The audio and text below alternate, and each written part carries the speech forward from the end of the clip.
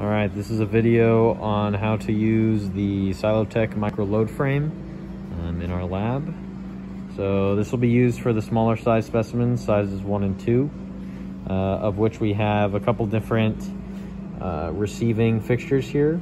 We typically put these on the actuating shelf, uh, whereas the loading roller is on the fixed side. And we have the 72 millimeter gauge length or the 36 millimeter gauge length uh, fixture as well. And what you see here is we'll put in one screw that has some washers around it. That's to prevent um, any more lateral movement. Uh, but we don't want to fix these in place like we would with these aluminum fixtures by nature of you know, 3D printing, cooling cycles, and not being perfectly straight. So we make sure they're flush to each shelf um, and then we don't need to actually screw them in or anything. So we'll come over here to the computer and we'll open Silotest.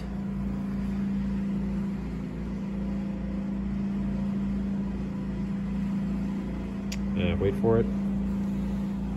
Perfect. So here you can see the GUI for uh, the Silotest uh, like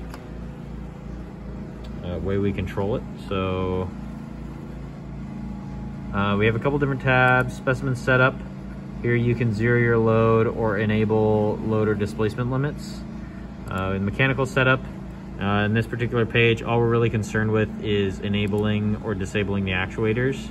So when we click this, you can hear a slight hum from the uh, from the machine, and now we can use uh, these switches to jog our fixture. Then under test profile, we can develop our actual uh, loading cycle. And we typically will only use the drive and ramp uh, options here. Uh, we had pretty bad a pretty bad experience trying to use this for fatigue. So we pretty much use these for only quasi-static um, methods. Uh, so here you can adjust your distance um, we, for compression, will have a negative distance and the speed is always going to be like the absolute value. What's interesting here, uh, the units are interesting. So if we want to go three millimeters, we do negative three M. Uh, so we have the prefix of the millimeter. So we have millimeter. So we match like the prefix to the units uh, displayed. So millimeters, um, correspondingly uh, for like our compliance calibration test that we ran on here previously, uh, we'll use like four uh, micrometers. So for U, so micrometers per second. The sampling rate uh, determines like how much data you're taking per second.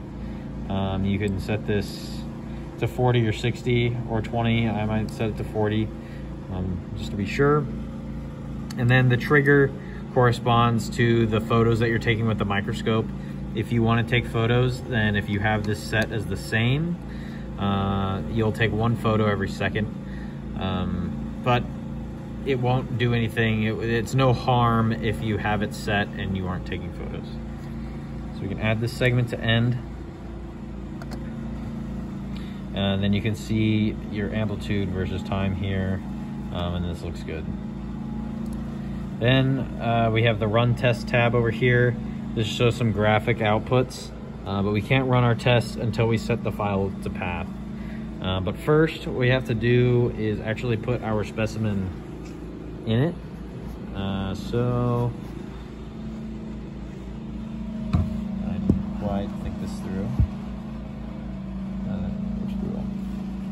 So you can do, take your specimen and then put it in the corresponding locations uh, for the rollers. And uh, you want to make sure that the specimen is parallel to the ground and not sort of off angle. And then we can use this control, uh, this control here to step or jog the um, actuators in place.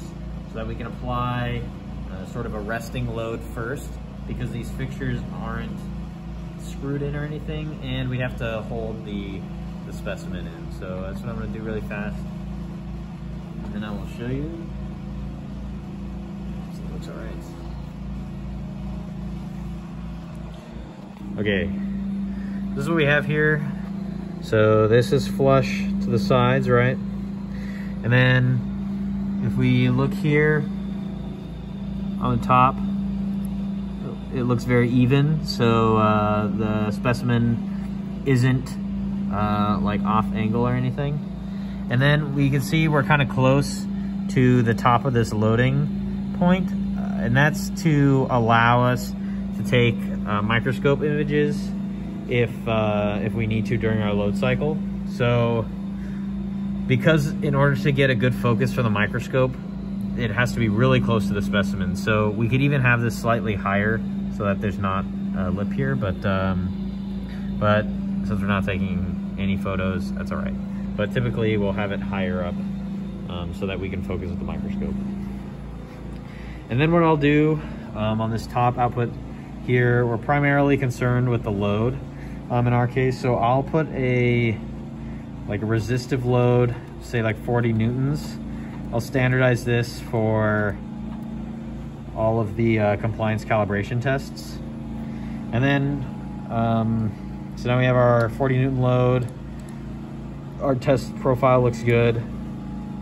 You can zero this out if you want, uh, because there's about, you know, a 15 to 20 Newton like noise or non-zero load output when it's actually zero.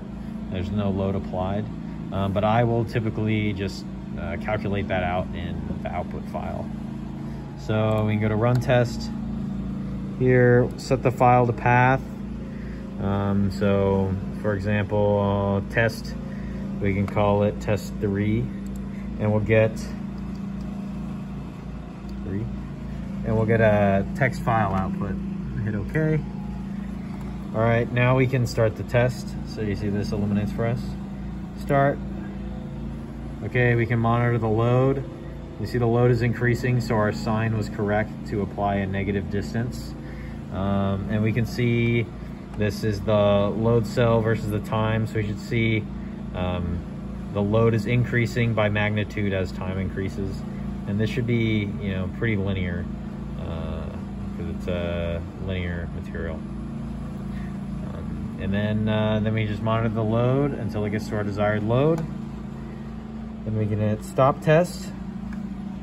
The test has halted uh, and we should uh, have our, our file. And that's, that's pretty much it. It's very easy to set up these tests for the Psylotech load frame. So um, yeah, to unload it, you can just hit this guy. Perfect. Uh, and that's it.